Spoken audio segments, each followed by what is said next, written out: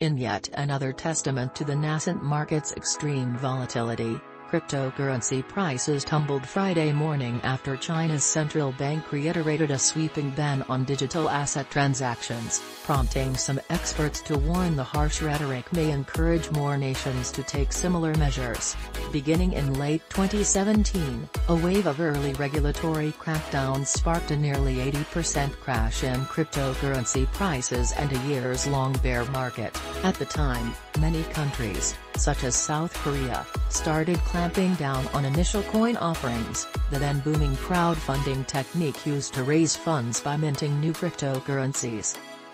That same year, China announced its sweeping ban on cryptocurrency transactions, saying financial institutions were barred from directly or indirectly providing trading, settlement or insurance services for virtual currency businesses, measures reiterated in the government's Friday announcement. Officials also reissued the regulation in May while warning of additional rules to come.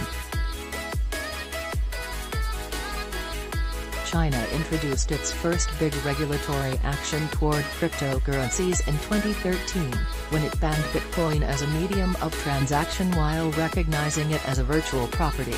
Bitcoin and the broader cryptocurrency market soared during the pandemic in light of inflationary concerns and soaring institutional adoption, but prices ended a year-long rally in April, when Tesla, one of Bitcoin's biggest corporate investors, disclosed it sold a large chunk of its holdings and would